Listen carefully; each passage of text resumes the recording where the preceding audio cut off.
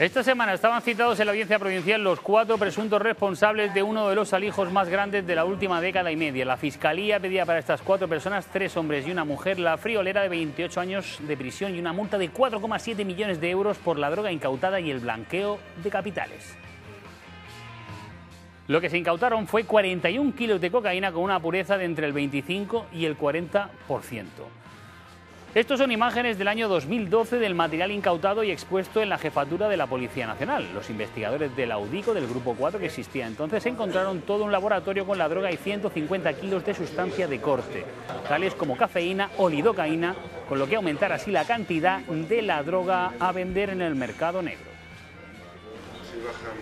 El golpe al narcotráfico fue tan importante que en la policía montaron este bodegón de exhibición para mostrar a la prensa todo lo intervenido, así como al que entonces era el delegado del gobierno, Joaquín Bascuñana, al que enseñan todos los materiales incautados y que están ahí expuestos. Otro de los puntos fuertes es esto, esta cantidad de dinero incautado. Había billetes de todos los tamaños, hasta sumar casi medio millón de euros. Faltaba mesa de la exhibición de lo incautado para desplegar todos los fajos incautados en dicha operación. La operación policial se desarrolló entre los días 13 y 14 de enero de 2012. Y ojo también a este dato porque luego va a ser relevante. Fue en este chalet de la urbanización Los Conejos de Molina de Segura. Allí el 13 de enero vigilaban los agentes a un hombre con antecedentes por narcotráfico que se estaba reuniendo pues con otro. Aquello, en verdad, lo que era era un pase de droga de un kilo de cocaína. Los policías se les echaron encima y lo detuvieron. Abrieron con un mando a distancia el garaje y se encontraron con un laboratorio del interior de la casa. Cuando al día siguiente, 14 de enero, recibieron la orden judicial para el registro, los agentes hallaron en la inspección varias cajas fuertes, estas que ven, tras abrirlas con sierras radiales, hallaron fajos y fajos de dinero, 466.000 euros presuntamente derivados del narcotráfico.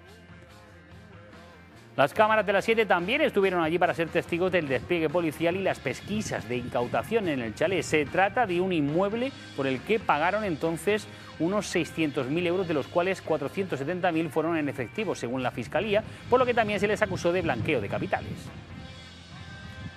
De hecho, se encontraron varios artículos de lujo que también fueron incautados, como por ejemplo varios vehículos. Especialmente destacable esta moto Ducati roja valorada en 60.000 euros. Se trata de un modelo copiado de otra que en aquellos años participaba en el circuito profesional de MotoGP.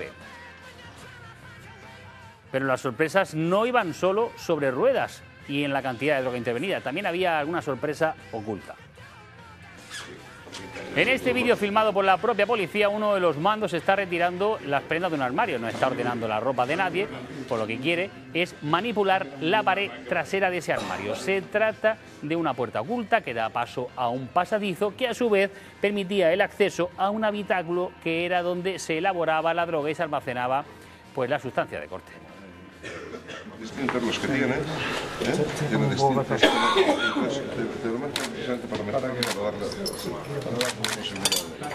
Esto que mostraba el jefe superior, que en 2012 era Carlos Llorente, son distintos sellos de logos que se usaban para marcar los kilos de droga que esta gente fabricaba. De hecho, los sellos están sobre la plancha con la que terminaban por darle forma e imprimir su marca. En este caso que nos ponía este agente era una X.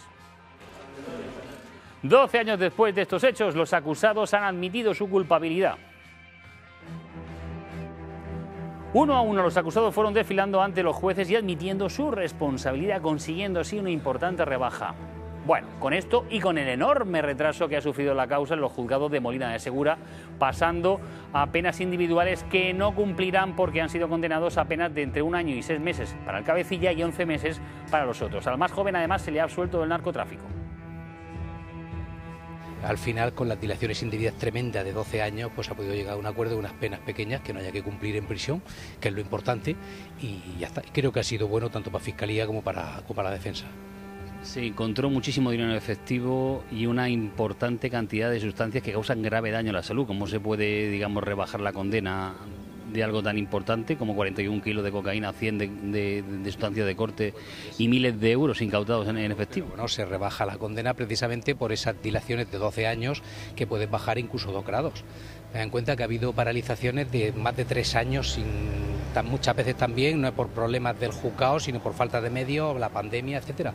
Pero eso conlleva que una persona que durante estos 12 años no ha cometido ni una sola falta, pues se le pueda permitir rebajarle dos penas y que definitivamente no entre en prisión. Su cliente era el que presuntamente era el dueño de, la sustancia. Bueno, eso no sabemos si era el dueño o era o no lo era. Yo ahí no voy a entrar. El señor Llano no quería entrar, pero hicieron un buen papel las defensas. Ahí los estamos viendo, porque más allá del retraso que con la fiscal Verónica Celtrán tuvo que lidiar, las defensas estaban previstas eh, que pudieran reclamar y pedir nulidades de alguno de los pasos policiales. Así que digamos que el acuerdo fue bueno para la parte de la izquierda, las defensas, y la parte de la derecha, la fiscalía. Sí, había muchos factores que influenciaban en esta causa. Por una parte, nosotros habíamos planteado cuestiones previas de nulidad, la Fiscalía mantenía que todo estaba correctamente hecho. Esos puntos de encuentro, más la unión de las dilaciones indebidas, que han sido 12 años en total por diversas causas, ha hecho que todas las partes hayamos preferido llegar a un acuerdo que a un pleito que pueda dar un resultado incierto. Para usted, eh, el acceso o el registro el inicio no, no, era, no era legal. No, ahora ya está todo hecho, están los hechos reconocidos y por tanto ya no merece la pena entrar en, e, ese fondo que para eso habría que haber celebrado juicio. La realidad es que ellos han reconocido los hechos y por tanto con su reconocimiento de hechos y con la condena impuesta es el resultado que todos tenemos que aceptar. Tampoco quería entrar el señor Martínez en el asunto, pero ¿y el otro gran delito de esta causa, el blanqueo de capitales? Bueno, pues también se ha quedado muy reducido y además los bienes incautados se han quedado finalmente decomisados. A mi cliente se le intervino un vehículo, tenía un vehículo a su nombre eh, y ese vehículo bueno, ha sido intervenido eh, junto a una vivienda que también ha sido intervenida. Eh, por, bueno, ese era el, objeto de, la acusación. Y ya por último, hemos escuchado que los magistrados decían que todos los bienes incautados fuesen al fondo de, decomiso. ¿Qué, ¿Qué es eso? ¿Por qué se ha hecho eso así? Siempre se hace, todos los bienes incautados se, acuerda que los genere o que los distribuya o que vea qué se hace con ellos el fondo de comiso para intentar hacer líquido eh, todos esos bienes y luego pues, poder eh, luchar contra el plan sobre drogas o darle el destino que, eh, que entienda un destino que sea en este caso satisfactorio para la sociedad.